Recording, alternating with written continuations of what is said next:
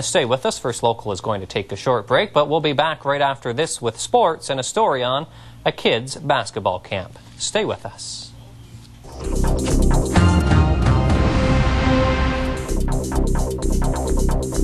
It's not who the best player is, it's, it's who's the most coachable, who's improved from Monday to Friday, who uh, is a team leader, you know, who is just working hard all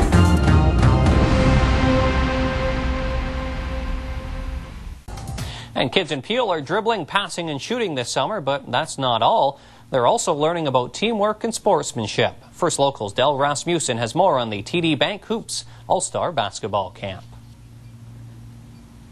Boys and girls from age 7 to 13 are being taught the fundamentals of basketball here at the Hoops All-Star Basketball Camp.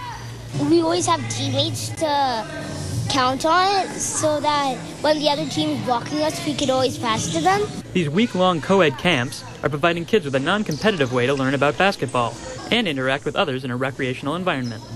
It's not who the best player is, it's, it's who's the most coachable, who's improved from Monday to Friday, who uh, is a team leader, you know, who is just working hard all the time.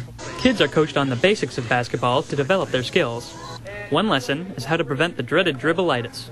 Dribbleitis is when you're like basically a ball hog. You don't pass, you just keep on dribbling and dribbling and dribbling until you get tired.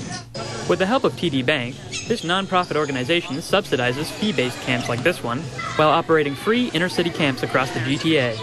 In Mississauga, Del Rasmussen, First Local.